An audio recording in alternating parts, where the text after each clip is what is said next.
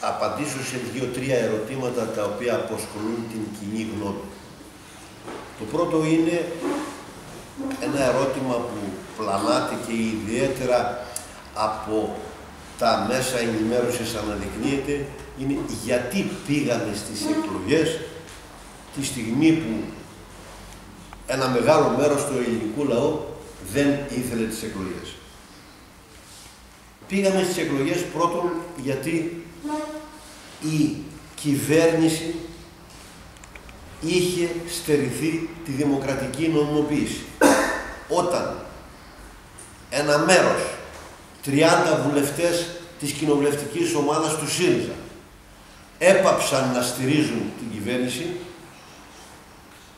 και ταυτόχρονα υπήρχε μία αντιπολίτευση η οποία έλεγε ότι ναι, μέχρι τώρα συμφωνήσαμε, ψηφίσαμε αυτά που είχατε συμφωνήσει με τους εταίρους, από εδώ και πέρα θα είναι διαφορετική η στάση μας. Άρα λοιπόν, ποια νομιμοποίηση είχε αυτή η κυβέρνηση να συνεχίσει να εκτελεί το ρόλο της.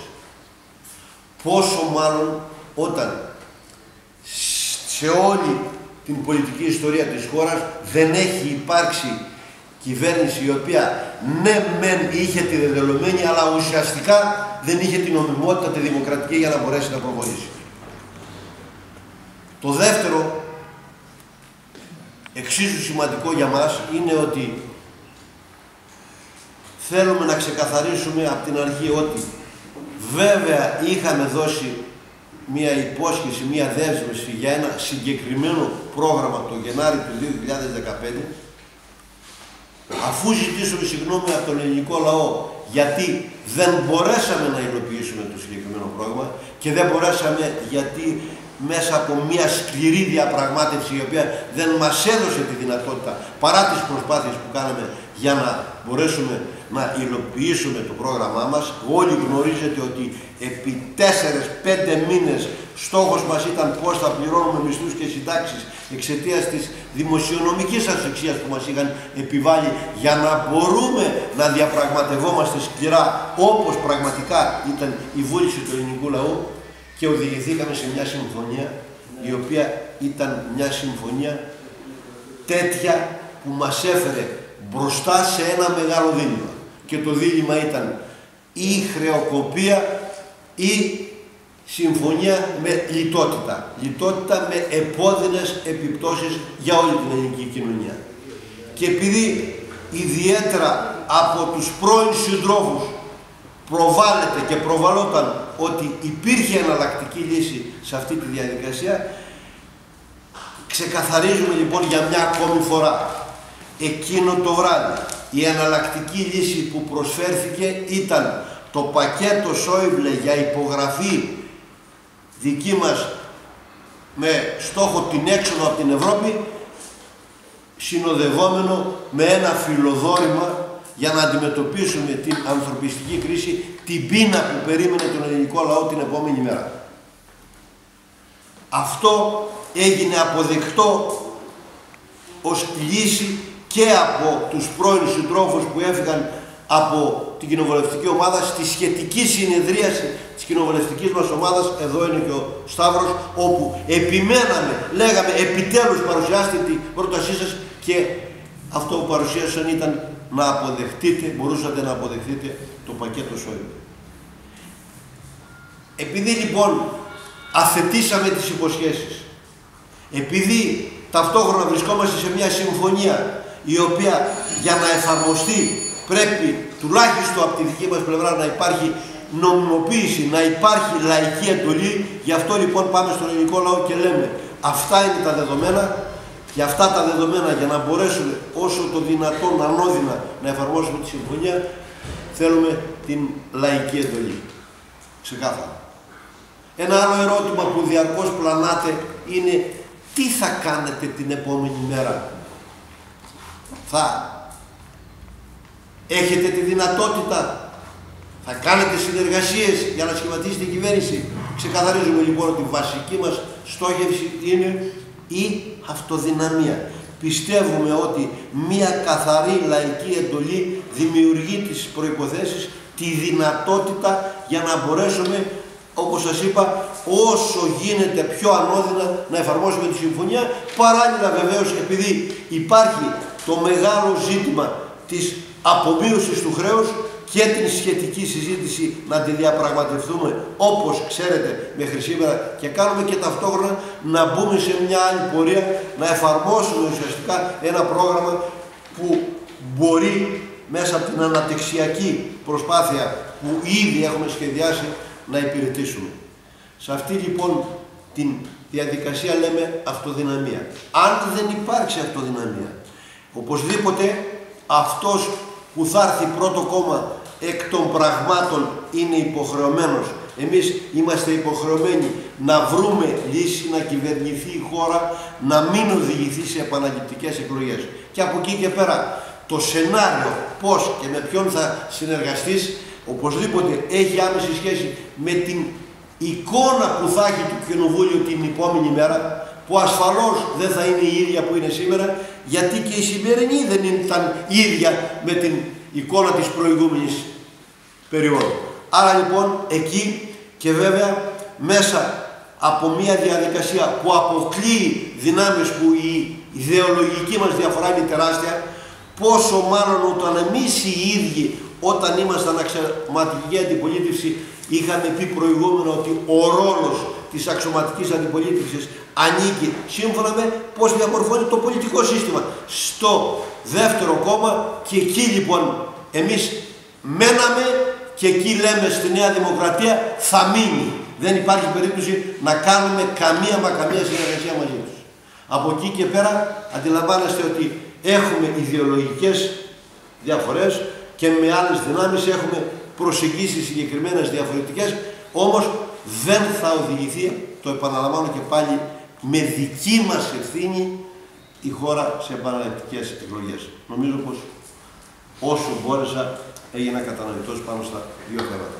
Από εκεί και πέρα επειδή εμείς έχουμε δεσμευθεί ιδιαίτερα για τον αγροτικό χώρο, μια και τον έχουμε χαρακτηρίσει ως το σημαντικότερο εργαλείο για την παραγωγική ανασυγκρότηση της χώρας και όντως έτσι είναι, είναι ο μόνος χώρος που έχει τις δυνατότητες να αξιοποιήσει, να αναδείξει τα συγκριτικά πλεονεκτήματα που έχουμε ως χώρα.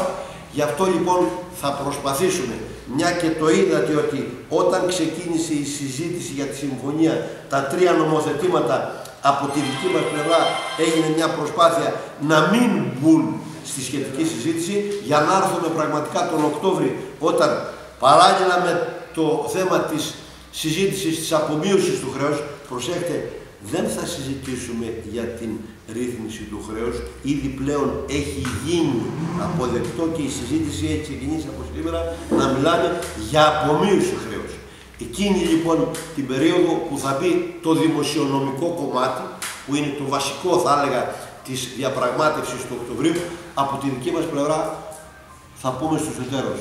Ξεκαθαρίστε μας πρώτα πρώτα τι, ποιο ποσό είναι αυτό το οποίο ζητάτε από τον αγροτικό χώρο. Ποια είναι η δημοσιονομική προσαρμογή που ζητάτε από τη φορολόγηση του αγροτικού χώρου; Και εκεί λοιπόν θα ξεκαθαρίσουν τα πράγματα. Εμείς από τη δική μας πλευρά έχουμε πολλά ισοδύναμα αντισταθμιστικά θα τα βάλουμε στη σχετική συζήτηση, στη σχετική διαπραγμάτευση, αρκεί να σας αναφέρω ένα χαρακτηριστικό παράδειγμα. Θα τα πει και ο Σταύρος μετά, θα κάνουμε, να ανοίξουμε τη συζήτηση.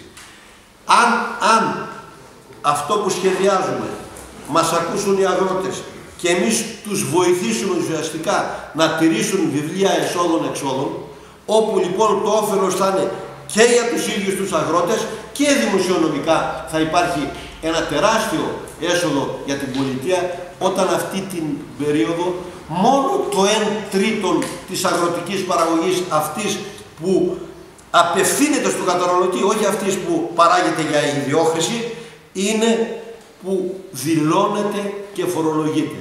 Τα 2 τρίτα δηλαδή περίπου στα 6 με 6,5 δισεκατομμύρια δεν φαίνονται πουθενά και εφόσον δεν φαίνονται πουθενά, αυτοί κυρίως που λιμένονται το συγκεκριμένο χώρο, το ξέρουμε όλοι ποιοι είναι, και μέσα από την τήρηση βιβλίων εσόδων, εξόδων.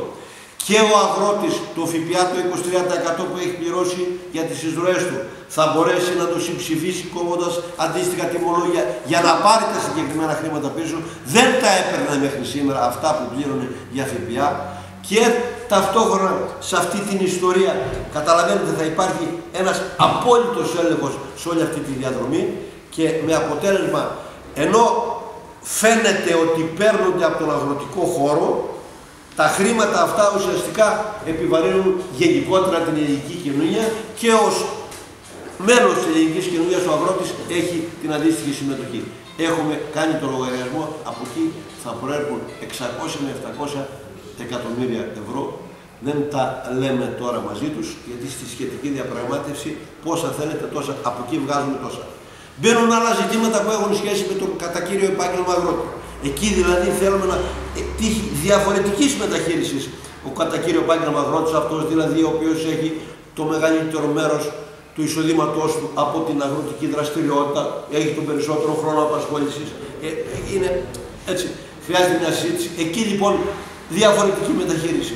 Όπως το άλλο ζήτημα των ενισχύσεων. Θα επιδιώξουμε ένα κομμάτι από τις ενισχύσεις να μην φορολογείται και ο φόρος που αντιστοιχεί σε αυτή την περίπτωση να πάει σε αυτούς που παίρνουν υψηλές ενισχύσεις, δηλαδή να μην είναι οριζόντια η φορολόγηση, αλλά να είναι κλιμακωτή και ουσιαστικά να καταλήγει στο ίδιο αποτέλεσμα. Μέσα από, λοιπόν από αυτή τη συζήτηση το μεγάλο κομμάτι της υπερφορολόγησης που είναι κυρίως αυτό που δημιουργεί πρόβλημα στον αγροτικό χώρο θα το αντιμετωπίσουμε.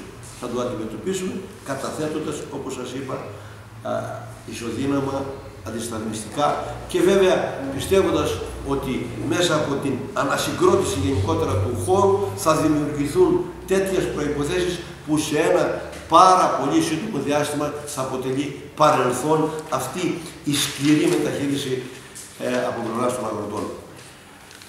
Ε, θα κλείσω για να δώσω στο, και στο Σταύρο να κάνει την τοποθέτησή του, μετά να αρχίσουμε τη συζήτηση, λέγοντας ότι θέλουμε, απευθύνουμε την έκκληση στην ελληνική κοινωνία να μας δώσει τη δυνατότητα να υλοποιήσουμε αυτά που έχουμε δεσμευτεί, αυτά που δεν μας άφησαν το προηγούμενο διάστημα και δεν μας άφησαν πρωτίστως να εξομολογηθούμε δυνάμεις που εσωτερικά μας υπονόμευαν και βεβαίως δυνάμεις που μέσα από τη σκληρή διαπραγμάτευση που μας εμπόδιζαν θέλουμε πραγματικά να καταλάβει η ελληνική κοινωνία ότι θα είναι μεγάλη απώλεια η αριστερά να λειτουργήσει ως παρένθεση 6 και 7 μηνών. Πρέπει να δώσει ξανά την ευκαιρία για να μην ξαναγυρίσουμε σε καταστάσεις που εδώ και 40 και 50 χρόνια έχει βιώσει η ελληνική κοινωνία. Είμαστε το καινούριο.